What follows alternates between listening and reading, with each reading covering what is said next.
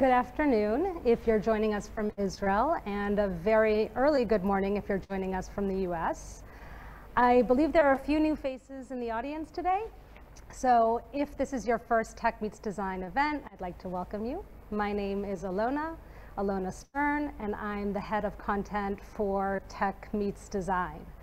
So just for background, Tech Meets Design is an initiative that was born in Jerusalem where we bring the tech and design communities together to create a nexus point between the two. And in doing so, we're really aiming to highlight the critical role that design plays in technology and in the development of technology. In today's case, we are honing in on a sector and exploring what happens when you identify the challenges and you look for solutions through the lens of integrating both tech and design we see Jerusalem as a unique venue for driving a global conversation around tech and design, in large part because of our first-rate academic partners, Bezalel Academy of Art and Design, the Hebrew University of Jerusalem, Azrieli College of Engineering, as well as our governmental partner, the Jerusalem Development Authority, which aims to promote Jerusalem's tech ecosystem. Israel is a leader in the digital health and life sciences sector, and Jerusalem is a key player. About a third of the city's startups are in the biotech and life sciences space. Perhaps it's a little less known that Jerusalem also has a thriving tech ecosystem of its own. As we all know, COVID has led to a speed of innovation to many sectors, but perhaps the most significant is that of healthcare. A recent McKinsey survey of leaders in this space found that 90% agree the pandemic will fundamentally change the way they do business, requiring new products, new services, processes, and even business models. So we at Tech Meets Design are proposing that an important layer be introduced into that conversation when discussing innovation. That of a human, and in the context of healthcare, a patient-centered approach and we believe that design and related methodologies such as design thinking really can provide that layer. So we are thrilled to share the stage today with a panel of truly leading experts when it comes to design and healthcare. I will start off by introducing Dr. Morgan Hutchinson and then hand it over to her to introduce the rest of the speakers. Dr. Morgan Hutchinson is a practicing emergency room physician and an assistant professor at the Sidney Kimmel Medical College at Thomas Jefferson University in Philadelphia. She is the Director of Education at Health Design Lab and leads a design thinking program for medical students, the first of its kind for a U.S. medical school. The past year, she and her colleagues have been spearheading community-based responses to the pandemic. Welcome, Morgan. The stage is yours. The Health Design Lab um, in Philadelphia, we are joining you from, is a creative makerspace that brings together doctors, designers, and other cool people. And here we work together to tackle some of the greatest challenges in healthcare. So during this hour, I am honored to be introducing three inspiring speakers that will all share their unique perspectives on the intersection of de design and health. Please share your questions in the chat box and we will save time for those questions at the end of the hour. First, I'd like to introduce our graphic recorder. Graphic recording is a method of capturing powerful images and texts from a conversation. It encourages engagement and it helps us to virtually record the key points from our work together. Today, we're joined by the graphic recorder, Suzanne Ashur. She'll be visually documenting this session, and thank you, Suzanne, very much for joining us. Our first speaker today is my colleague and friend, Dr. Bon Ku. Dr. Bon Ku is a practicing emergency physician here at Sidney Kimmel Medical College. He is the co-founder and director of the Health Design Lab, where he created the first design thinking program in a U.S. medical school. He co-authored the book Health Design Thinking, which addresses unique design challenges in the healthcare space. Welcome, Bon. All right. Uh, good morning, good afternoon, everyone. Can you hear me all right? Thumbs up. Cool. Um, so I'm I'm just here to as an opening act for uh, Dr. Ibrahim and Alan Chochinov. I admire them so much. Uh, Morgan's going to give them an, a nice intro. but I wanted to speak about um, the importance of design in healthcare and why we um, started using uh, human-centered design when thinking about the healthcare space. So my background is I am not a designer, but working in an emergency room, working in the hospital in the U.S. healthcare system, what I saw was that there is bad design everywhere. Uh, I think healthcare is like the black hole of design, and for um, all of us who have touched the healthcare system, we have experienced bad design, whether it's in a product or service or medical device, uh, the user interface of electronic health record. Uh, bad design can be uh, found everywhere. And what I started noticing in healthcare is that there's all these types of workarounds that we see when there is a um, poor uh, experience with the healthcare system that we have uh, built these workarounds to get around bad design. So I thought, um, being at an academic medical center, of how we can uh, redesign healthcare. And I, uh, this was about six years ago, and we um, had discovered this thing called design thinking, and we started uh, hanging out with designers. I have no background in design, but I started visiting architecture studios, design studios, and what I appreciated about the mindset of design is uh, the ability to create, prototype, iterate, fail, uh, and this mindset of that it's okay to fail and that we can learn from failing. So what we did at my hospital was we built our own version of a design studio. We call it the Health Design Lab. And the materials that we use to design are um, they're, they're different from what a designer uses. They're not physical materials, but we design with medical data, for example, from MRIs and CT scans. In our lab, we have prototyping tools like 3D printers where we plan for uh, surgical operations by 3D printing anatomical models. We have a medical device program where we look at a challenge in the healthcare space. Uh, we try to understand the problem and we design a new type of product or device. So we encourage medical students and physicians to use design for storytelling, to show their work. Uh, we use design to uh, reimagine a healthcare service or product. And the methods that we use are storyboarding, skits, prototyping, and we'll go over more of that in our later workshop that we're going to have after uh, this webinar. But if you want to learn more about our methods, you know, we published this cookbook of design and healthcare called Health Design Thinking. And there we lay out our principles and methods for using uh, design thinking in the healthcare space. So um, what I appreciate about um, using design in healthcare is that it helps us to become better communicators. It really lowers the barrier to innovation. And we've seen that in the pandemic when there wasn't enough time to wait. We really had to prototype quickly and implement a new service or a device in, in, in the healthcare sector. Um, so I'm going to hand it back over to Morgan, who's going to introduce our next speakers. Thank you, Bon. I am excited to introduce our next speaker, Dr. Andrew Ibrahim, who is a practicing surgeon, but he also practices architecture and urban planning at the University of Michigan. He's the chief medical officer at the leading architecture firm HOK. He directs the Health and Design Fellowship at the University of Michigan, where he trains architects in, um, in rigorous econometric quantitative analytics to inform better design. Dr. Ibrahim, it's great to see you and welcome. Good morning and good afternoon. Always good to hang out uh, with some good friends. Um, good to see you all. Um, I'm excited to share a couple ideas with you from my world of design, health, and um, one unique lens I have is also through the world of policy.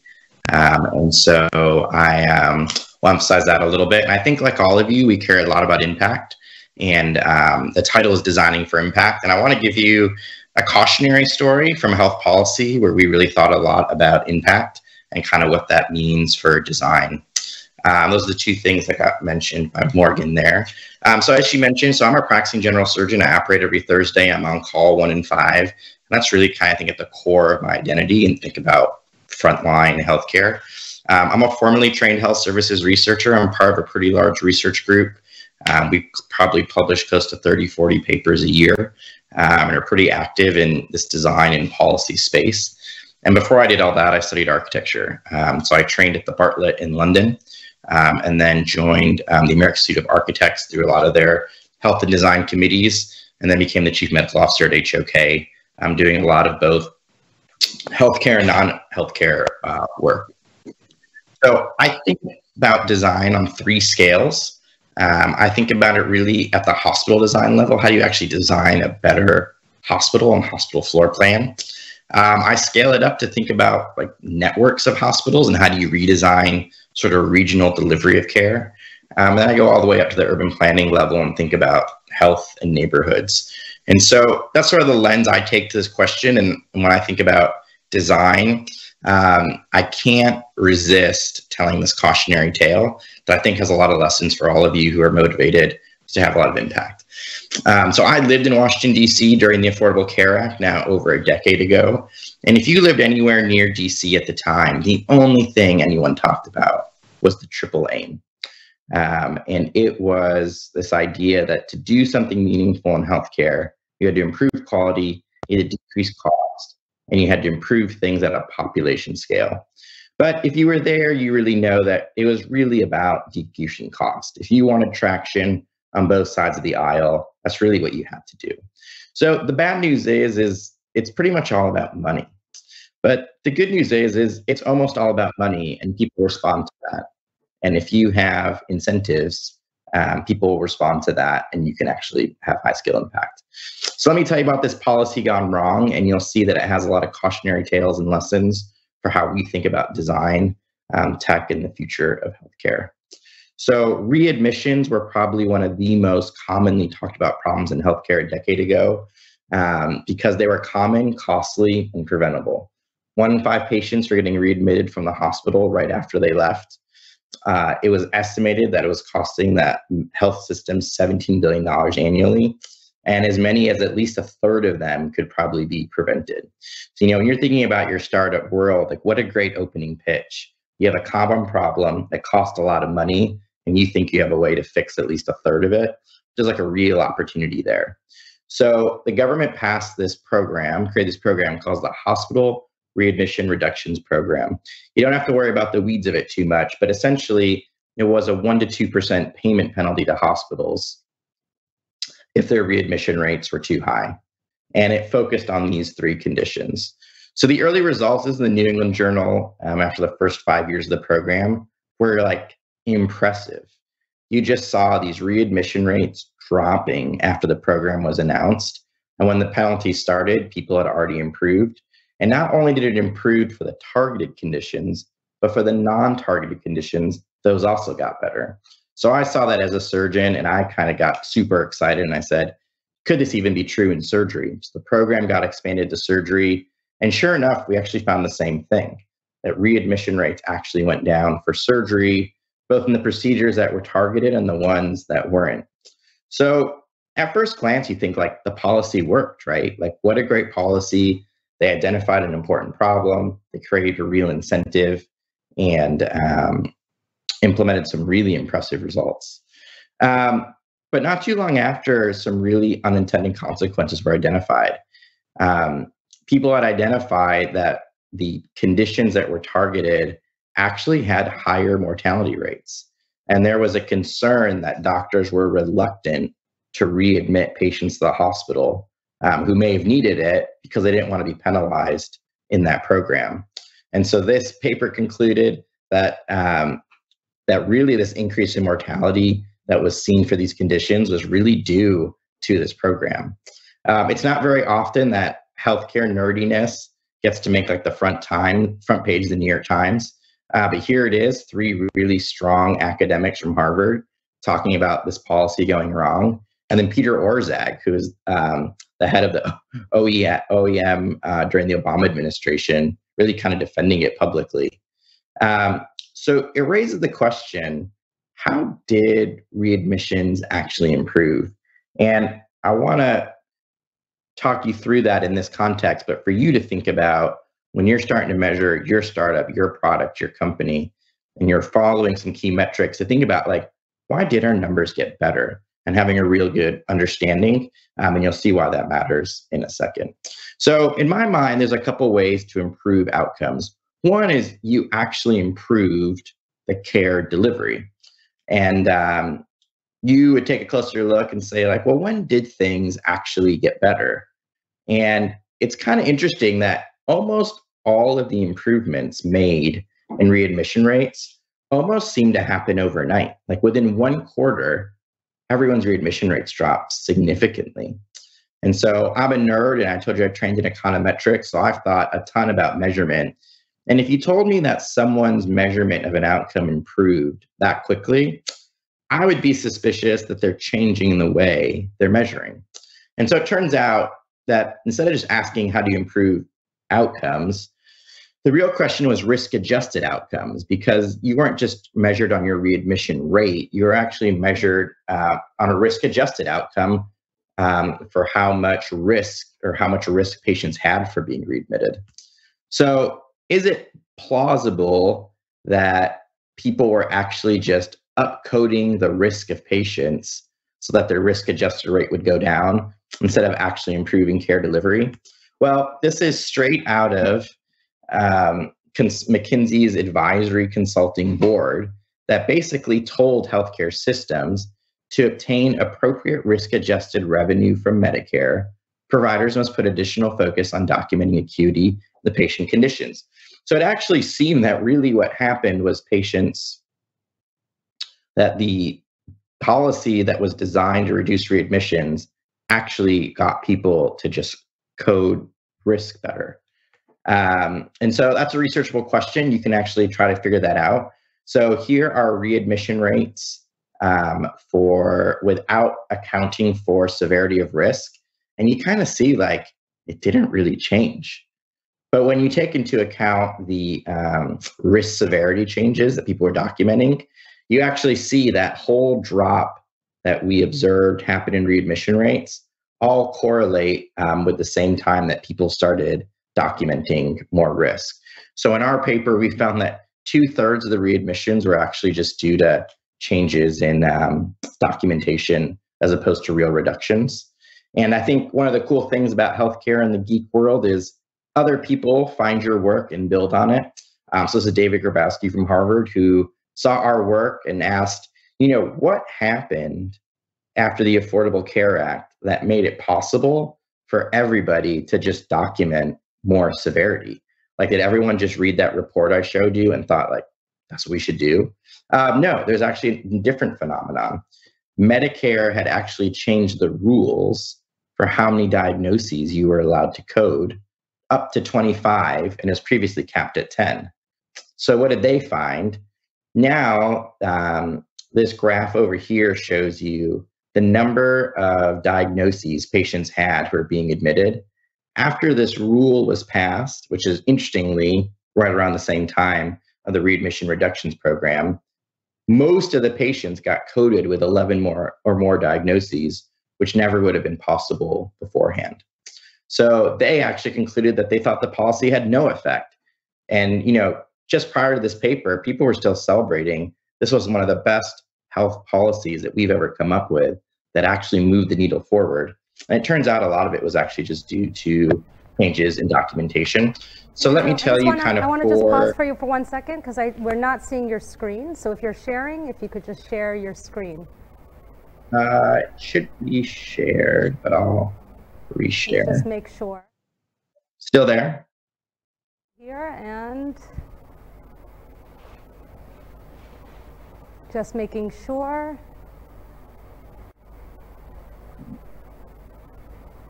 Oh.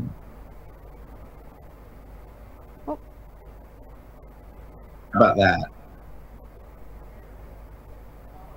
that work? Yes, great. Great. Thanks so much. So let me give you kind of four lessons learned for design from kind of this policy gone wrong that I think are really relevant for you to think about as you're starting your um, really ambitious goals of innovating the healthcare space.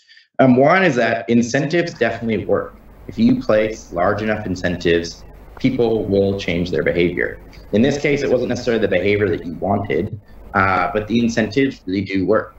Um, second is that there's a real spillover effect. If you target the right part of healthcare with your innovation, it actually spills over and can have impact on areas around it.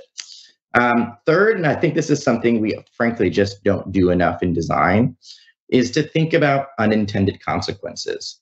What's the worst case scenario if everybody bought your product? What's the worst case scenario if everyone thought your design was the way they should build their hospital? We rarely think that way.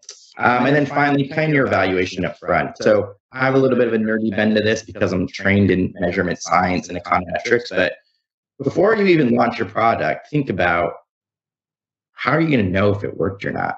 How are you going to evaluate what measures are you going to use and decide those up front so you have a really accurate way to do it. So that I'll say thank you. And I hope if any of you get a chance to come to Michigan, um, let me know and I'll take you to a football game. Um, all right. I think I'm all done. Thank you very much, Dr. Andrew Ibrahim. Um, can you hear me? Um, I'd like to remind the audience members to please ask questions in the chat box, and we will be able to get to the questions for any of our speakers at the end of the program today.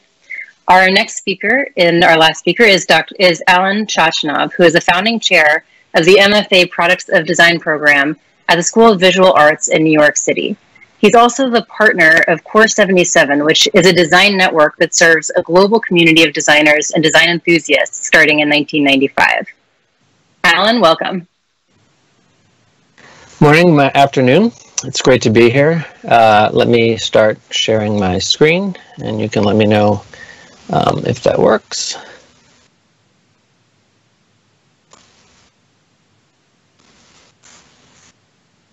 How's that?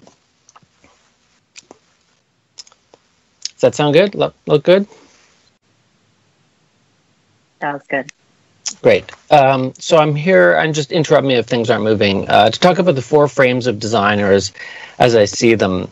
Um, so my background is uh, in design, industrial design specifically, and in medical, uh, surgical instruments, diagnostic equipment, um, and now uh, I'm really, uh, so much of my life is design education. Everything working okay? Okay. Uh, my philosophy is that to design anything is to design everything. Um, so let me be a little bit more specific about that. Uh, all design projects are going to need design research, systems design, design strategy, physical products, digital products, human-centered design, planet-centered design, interaction design, platform design, policy design, which was just mentioned, and I promise this was already in the slide, um, so I validate that policy design actually may be the most um, impactful uh, design moving forward.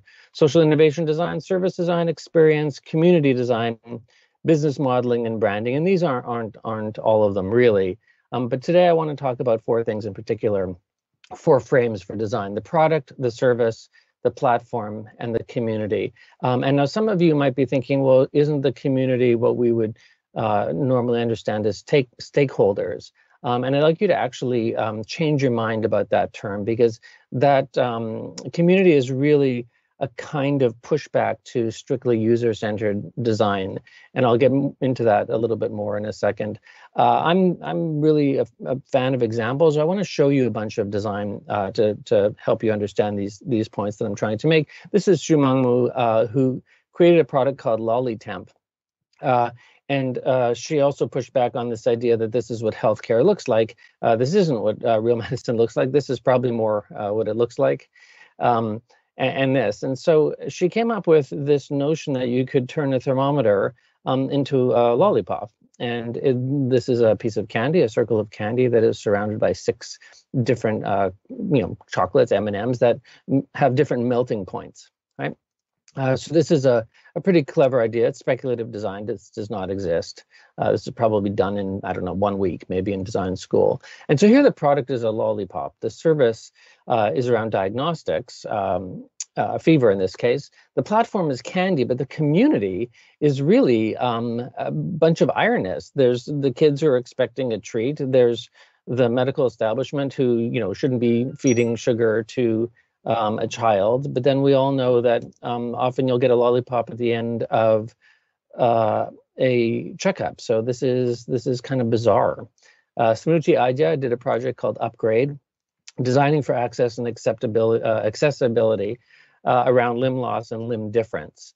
Um, and uh, so uh, designers do a lot of system mapping. They speak to uh, a lot of experts. They like to animate a lot of slides.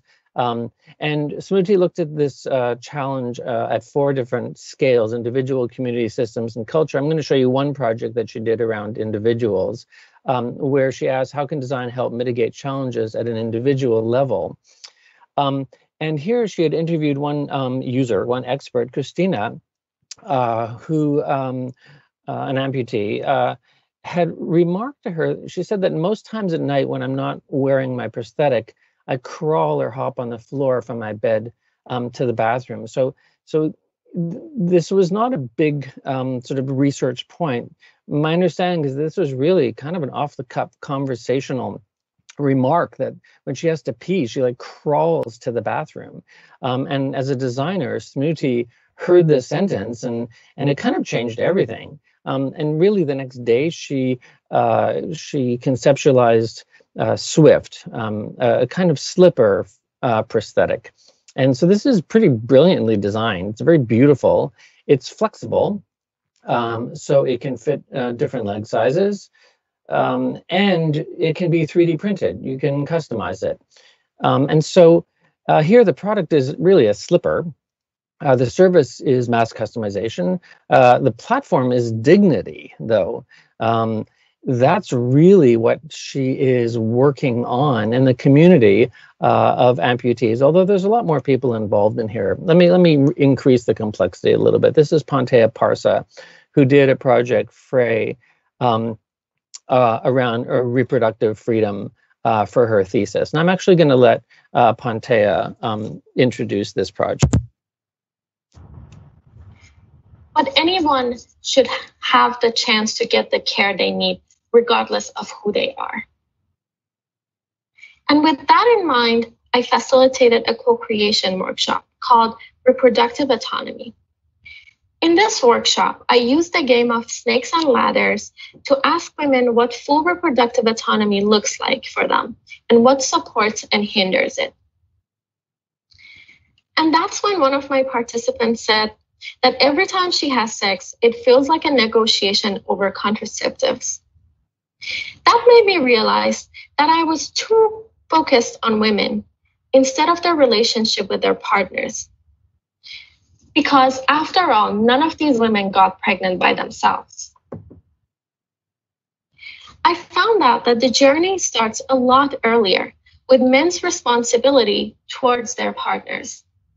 But that's when it gets tricky because most women are naturally reminded of their reproductive capacity with every menstrual cycle, and men are very remote from this experience. But how might we use menstrual blood as a mediator for open communication about reproductive health? And for that, I designed Frey. Frey is a speculative object for watering and fertilizing plants using a mixture of blood and water. Blood is generally used as a plant fertilizer since it contains three important plant nutrients. But Frey doesn't only nurture plants, it also nurtures women's relationship with their partners. Let's see how it works.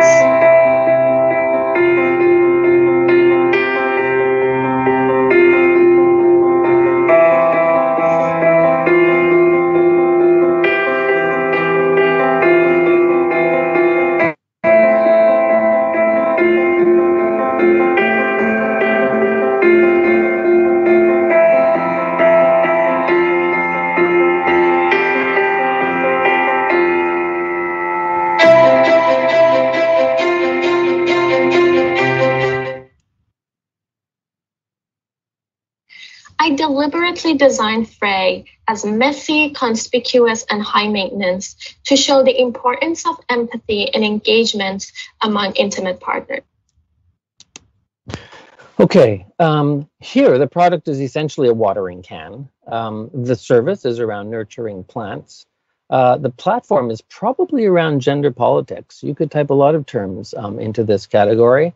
Um, and her community is dealing with partners um, and sometimes married partners. Uh, two more projects. Ria Bandari, a project called Paint, um, as part of her thesis, Hysterical Women Designing Experiences to Counter Gaslighting in Healthcare uh, Systems. And so this was just one part of her thesis. This was an app for self-reporting um, symptom, uh, pain symptoms. Um, doctors are forced to interrupt the patient very often. Doctors only have uh, time to hear relevant information, and that term relevant is, is you know, dubious. Patients don't have tools to describe their own symptoms. Um, and uh, here's a few screenshots, but I will uh, let Ria introduce this, uh, tell you a little bit more about this project herself. So there were one common theme which was uh, which was talked about uh, from doctors and patients, which was the lack of an objective way to measure pain.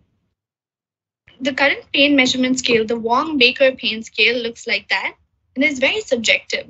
So the doctor has a hard time understanding the patient's threshold because your pain level seven could be very different from my pain level seven. So to counter that, I organized Women in Pain, a co-creation workshop to test alternate ways to measure and describe pain. Women describe their symptoms, severity, and frequency through words, through two-dimensional scribbles, and three-dimensional embodiment. And through these, I understood that visual cues work the best and that it's all about effective storytelling for patients as protagonists to share their stories with their doctors, friends, and family members to understand their own pain. But this is where it gets tricky because the patient isn't equipped to talk about their symptoms.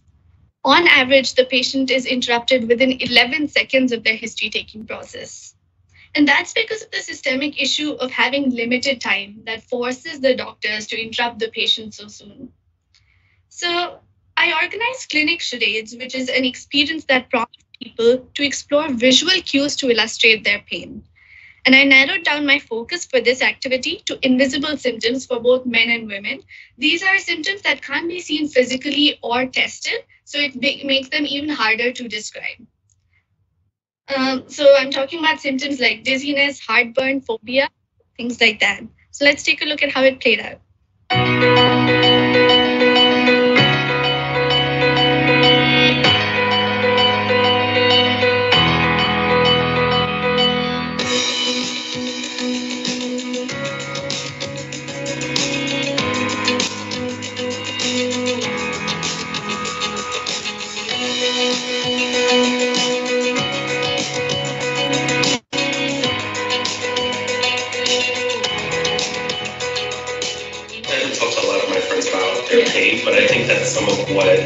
Is so interesting about this event is like so many of us have pain like that and don't talk about it because we don't know exactly how to describe it.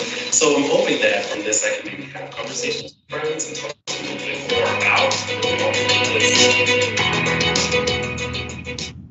And with the learnings of the event, I understood that there are three tiers of support uh, that, uh, that in a woman's life that I, as a designer, could have an impact on. So from here, I look at the home, the hospital, and the settings outside the hospital. So clinic charades led me to create something which was much more accessible for the individual self at home. I would like to introduce to you Paint. Paint is designed to help women advocate for themselves and enable it enables patients to document and describe their pain in more than just words. With the app, patients can visualize their pain in real time by scribbling on or marking relevant areas on a human uh, on the silhouette of a human body. And the app allows the patients to specify the location, the intensity, and the duration of the pain. And additionally, you can express how you feel at a in the particular moment through text and emojis, voice notes, as well as images. And an aggregation of these entries helps the patients create their own painscapes. Uh, painscapes show them and their doctor where exactly their pain is manifesting. So you can either send this to your doctor or the patient could print it and it could be a part of the patient records. All right. So uh, in this project, the product is a mobile app. Um, the service is self-reporting. The platform may not be an electronic health record. The platform might actually be around a kind of um, compliance. And uh, this is a tricky word. I'm using it a little bit abstractly. Um, this is a kind of um, truth telling as well. The community, well, we're not sure. The patient, uh, patient advocates, families, uh, doctors, nurses, medical establishment. Uh, let me show you one more example and, and talk to you a little bit about how the community can get fuzzier and fuzzier. Um, so this is Turn Timer um, by Adam Hecht, Daniel Choi, Mark Kirilis, and Vinu Rajendran. Um, this was done actually at the Health Design Lab um, called Turn Timer. It's a pressure ulcer solution. Uh, so the challenge obviously around pressure ulcers uh, can can be you know quite serious and often uh, leading to fatalities. Um, and patients aren't turned um, often enough, of course. We know this. There are a couple solutions that are, uh, well, you know, highly priced and, and sometimes not so effective. Um, and so the challenges here, I think many attending this event will understand um, very intimately. Um, this is a timer that um, counts down and has red and green um, colors uh, alerting when it's time to turn the patient. Um, there's actually a dashboard here, the OWL portal, uh, so that nurses can see patients that uh, need turning. And what's interesting here, I'm going to go back in a slide, is who is this actually for? Um, and one of the, the communities that the designers were thinking about here were the families, that there would be a lot of family pressure um, once they saw that the um, their their family, their loved one, had not been turned, and they would turn, they would become advocates. So that this may not be actually for the nursing staff. This may be for visiting family members. So here, the product is a smart object. The service is about reducing bed sores. Um, the platform, perhaps a dashboard or a portal, uh, but the community is not clear at all. It isn't one community. There's the patient, the families of the patient, the nursing staff, uh, we haven't talked at all about um, insurance. Um, in the insurance industry, uh, this is huge, although Andrew touched on this before. Uh, so much of this, so much of medicine um, is about money. So I'm hoping that uh, this helps you think a little bit differently about um, all the different products and services and platforms that happen uh, in the healthcare context, um, but also the communities in which they are designed for, and sometimes the unintended consequences of the communities uh, on the communities that they are not designed for. Um, all right, thanks so much. Uh, and this is me if you'd like to get in touch at Chochinov. Thank you very much. It is a pleasure to hear um, from each of you speakers today. We do have some questions from the audience please continue to ask questions in Zoom and we will um, address them to our speakers. Um, first, I have a question for each of you. You've spoken about co-creation of products and how um, people can build empathy by understanding the perspective of patients and users of these products. So um, in the cost and the dignity, I wonder how entrepreneurs listening to you speak can use co-creation and better understand um, the perspective of the patient and help them create their products. Um, I guess I'll jump in because I showed a lot of it. I mean, we uh, teach it explicitly, um, actually working with appropriate communities around different challenges. And a lot of the projects that the thesis students um, uh, work on are, you know, do touch the medical world. Um, it's really about um, this keyword facilitation. Um, how do you get the participants to create and offer something that you, didn't know that you were looking for. This is this is a bit of a conundrum in design research, right? You are not looking to validate your ideas. I mean, there is some research that's there to validate ideas, um, but for designers, the this truly valuable research is the research that shines a light in a room uh, on some sort of insight where you didn't even know that room existed never mind you know that you know this person experienced this this kind of um, uh, pain point or provocation or motivation and incentive uh, so research is really really tricky because often you will have a hypothesis and then go out and try and prove or disprove it. Co-creation workshops are much more, in some sense, qualitative than quantitative. They are looking for something that they didn't know they were looking for. Um, this is this is tricky because people do not like ambiguity. Uh, designers are trained to be comfortable in ambiguity. It's one of the reasons why the uh, the profession is so fun. Let me just add one more perspective to that. Um, there's a great book called Rookie Smarts that I think if you're in the ambitious world of startups, it's worth reading. But it talks about that when you're making major decisions, who should you have in the room? Mm-hmm. And it turns out that being a rookie, in other words, like being new to a space, gives you an unfair advantage in a lot of ways because you're not ingrained in whatever the normative answers are supposed to be. Mm-hmm. And so I would encourage you, I imagine your teams probably have a lot of experts um, in dedicated areas, and those are important. But I would make sure, just practically, that you have some real rookies in the room who are mm-hmm. ambitious, mm-hmm. motivated, but who maybe don't have content expertise on that topic. Mm-hmm. Why did you think about it that way? Why would anyone want to do it like that? Mm-hmm. And it turns out some of the like naivety of that perspective is actually super informative. So um, get some rookies on your team. Could I actually double underline that, Andrew? It's such an important point. You know, rookies don't know what they're not supposed to not know, right? They have this kind of permission to just say something, um, and they're not worried about their ego or or their again their domain expertise being in question. Um, this is it's gold. Um, so I could not agree more with this point.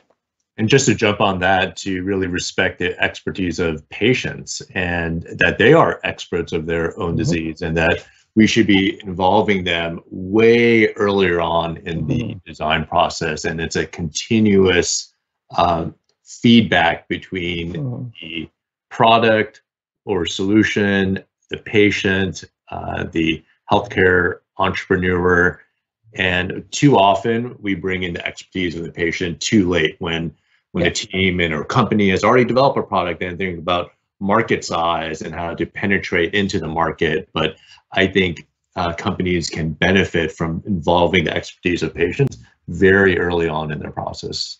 Yeah, they say that 80% of a design's impact is determined in the first 20% of the design process. That's probably lowballing it. Uh, there's also an interesting prepositional um, change that the design world has been moving through, which is designing for someone to designing with someone. And now we're at a moment where we're talking about designed by, that there is a kind of authorship mm. and uh, equity uh, that goes in the patient's or the participants, uh, well, participation in the design process, uh, which I think is wonderful and, and healthy. Yeah. Thank you very much. Um, one question, can you provide some practical tips on how entrepreneurs can use the design thinking process while they're developing their products?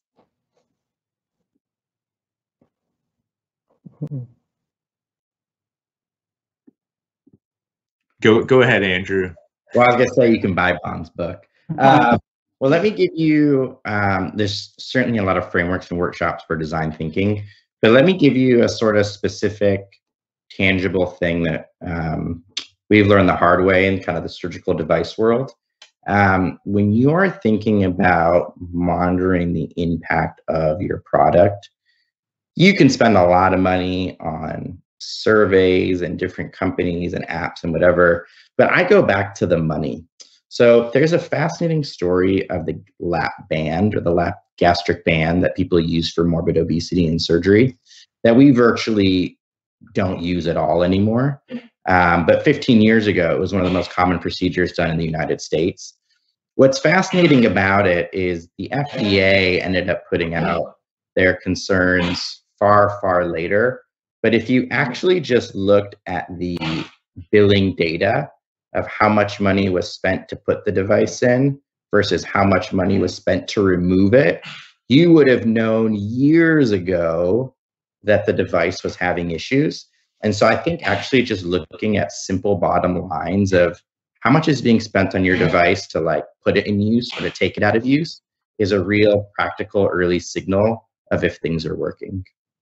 Mhm.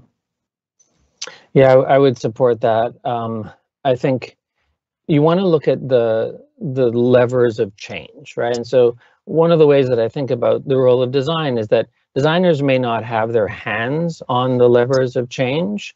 Uh, they put their hand on the hands that have that are holding the levers of change, and they can say, "Well, look over here. Like this could this could work." And again, very often that will be around policy or regulatory. Um, it will be around finance, insurance, payers, payees. Looking at the larger systems um, in the, the world where you want your product or service or platform or app to not only survive but to thrive. Mhm. Uh, one of the things that we teach in our master's program is that uh, is is fundamental systems thinking uh, over and over and over. Um, and maybe the quickest takeaway for um, our, our participants or our audience here today um, is that very often you need to con- uh, to design the conditions around the artifact that you're creating, as opposed to obsess on the artifact. You really need to look at the neighborhood at sort of you know increasing levels of scale to help determine its likelihood for success and survival. Um, and that that's way richer than just doing a competitive analysis and seeing who else is in the marketplace. Um, to get, have a fundamental understanding of like what is the terrain you are trying to play in and to take your, your sort of eyes off the ball in, in, in a sense and to look at the playing field. Um, and again, not just in terms of competitors, but really look at the system effect um, in that in that marketplace that you're trying to participate in.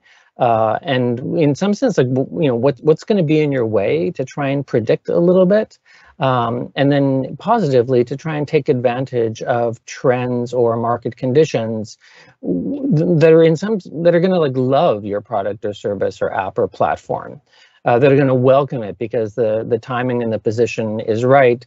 Uh, and then you talk to the the people, the communities that are are are going to matter, that are either going to stop it from happening or or you know want it more than anything, that are going to like you know love it um, to happen. And Alan, what I, what I learned from you around this like landscape is to look at all the different sort of users of, of the product. And, you know, in design, we think about these extreme users. Um, you know, someone that uh, maybe doesn't fall within 80% of your market for your device or Yeah. product or service, where where what a pitfall that I see with a lot of companies is that they design a product for people who look just like them or people who Yeah. are the same socioeconomic profile.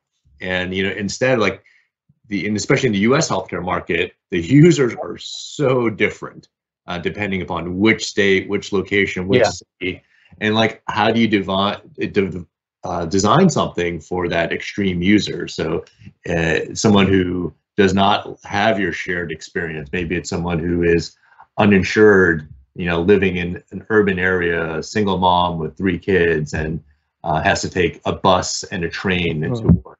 So it's gonna be that's gonna look very different from uh, a white male who lives in the Bay Area who's a, a, a techie geek bro. Sometimes it's something really obvious like the customer that you didn't you know you're designing for for a certain kind of patient where it's the patient's kid that's actually making the buying decision for instance. Um, you know and i think when you realize it it's just like how did we miss this? This is so obvious. But sometimes it really is um, under under your nose. In terms of the the terrain one thing that i might add is that you know very often every domain has like three or four different players um, and they often like you know either actively don't like each other or they think they don't like each other. It's just like medicine is all about you know the the patient um, practitioner relationship. Medicine is all about science. Medicine is all about money. Medicine is all about policy. Of course all of these things are true but to understand that there are people who passionately believe that this is everything you need to understand the designer needs to step back and to see these three or four or five groups who who passionately believe that you know sort of their reality is the reality and to in some sense synthesize uh, amongst those in terms of well what truth is going to surface out of this that is going to satisfy um, you know the need that the designer is going going after in this very sort of holistic way. Um, when it works, it's amazing, um, but you can you can miss things pretty easily.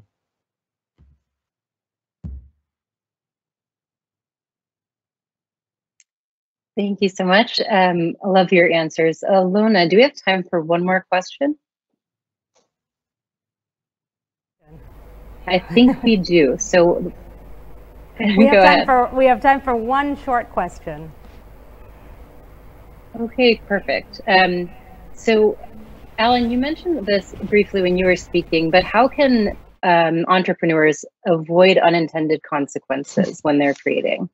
Yeah, so this is the question of great question. Whoever um, posed that, um, it is the question of the day. I mean, it is the question on planet Earth.